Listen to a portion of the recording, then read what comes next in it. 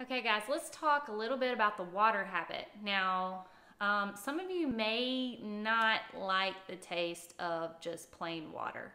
And honestly, that is okay, especially in the beginning.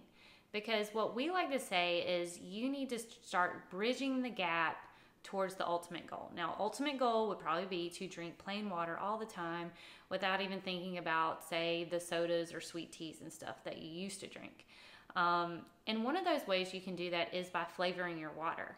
So whether it's using even crystal light, you know, even if you're using stuff that has like artificial sweeteners in it, yes, you may not want to do that forever, but it's a good way to what we say bridge the gap towards the ultimate goal of drinking plain water because a lot of you probably, you know, used to drinking flavored beverages and so if you quit cold turkey, then you know again you're going to be uh, you know i guess more more in, inclined to fall back to those flavored beverages whenever you have you know a bad day or stress like that so how can you make the jump a little less uh, strenuous or, or not as big of a jump and so, you know, whether you want to try uh, using LaCroix or flavoring LaCroix, I don't know. Um, um, you can use some, you know, flavored balsamics in water. And fruit and fruit infused water is another way.